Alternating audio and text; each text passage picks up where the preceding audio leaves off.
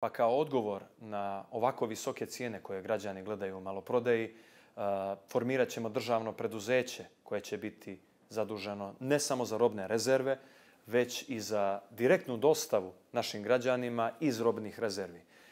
Mjeseci više od ove premijerove najave formiranje robnih rezervi i dalje je samo u planovima i strategijama.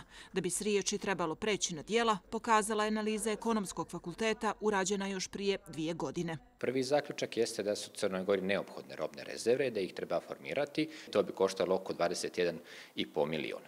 Od tog e, ukupnog iznosa nekih 19 miliona bi bilo potrebno da se izvrši kupovina i plate dotni zavisni troškovi nabavke tih roba, dok bi nekih 2,5 miliona bilo potrebno e, godišnje izdvajati kako bi se te robne rezerve skladištile. Posljednji direktor robnih rezervi, Miro Blečić, s druge strane, procjenjuje da bi državi za taj posao trebalo minimum tri mjeseca, ali i mnogo više novca. Kapaciteti koji su bili u vlasništvu direkcije robnih rezervi su dosta zapušteni, ruinirani, ispražnjeni. Vjerovatno taj nominalni iznos će biti veći.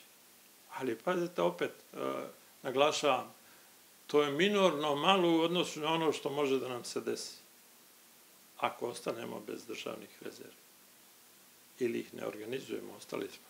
I to prije nešto više od dvije decenije, kada ih je tadašnja vlada Mila Đukanovića ukinula uz obrazloženje da su neisplative. Ta odluka, kako je pokazala analiza ekonomskog fakulteta, bila je pogrešna, baš kao i sadašnja očekivanja vlade, da će osnivanjem robnih rezervi smanjiti inflaciju. Ukoliko imamo visoke cijene proizvoda u nekom dugom vremenskom periodu, to je već rezultat nekih tržišnih djelovanja. U tom slučaju bi efekat postojanja robnih rezervi u Crnoj Gori bio manji. Mi znamo da je inflacija danas regionalni evropski svjetski problem, da zemlje u okruženju imaju robne rezerve, zemlje Evropske unije imaju robne rezerve, ali oni se očevaju sa problema inflacije. U skladištima bi se čuvale zalihe osnovnih životnih namirnica poput brašna, šećera, ulja, soli, krompira, mesa, ali i određenih ljekova i sanitetskog materijala. Time bi robne rezerve bile prilika i za poljoprivredne proizvođače. Da praktično ne budu teret ili balans dodatni budžetskoj potrošnji, nego da sobstvenim kapacitetima i inicijalnim kapitalom postiču razvoj poljoprivrede prije svega. Crna Gora nema ni rezerve naftnih derivata, a zakon koji predviđa njihovo osnivanje od juna čeka usvajanje u Skupštini.